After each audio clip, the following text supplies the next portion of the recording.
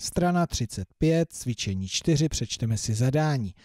V logických řadách doplňte chybějící čísla. Tak tohle je logická řada, to znamená, že je mezi těmi čísly nějaká logika a my musíme tu logiku najít. Takže 25, 30, to je tady přičteno 5. 30, 30, no to tady není přičteno, odečteno, takže tam je plus 0.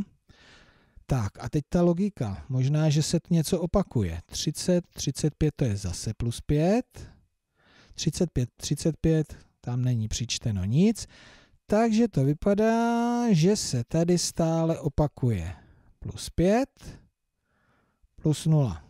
Takže to zkusíme. 35 plus 5 rovná se 40. 40 plus 0 rovná se 40. Fajn. Myslím si, že tu logiku jsme našli. Jdeme do druhého řádku. Jaká pak je tady logika?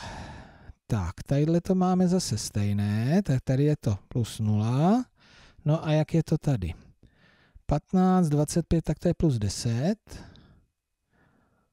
25, 30, to je plus 5.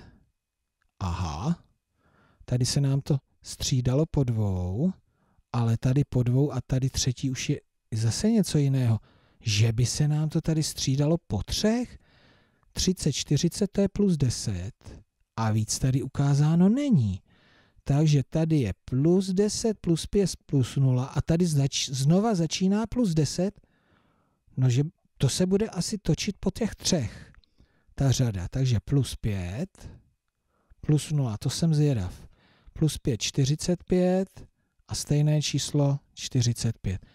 Podívám se na řešení a paráda, mám to správně. Takže nezapomeňte tuhle logickou řadu, ale možná, že vám paní učitelka nebo pan učitel připraví nějakou podobnou, třeba ještě těžší logickou řadu.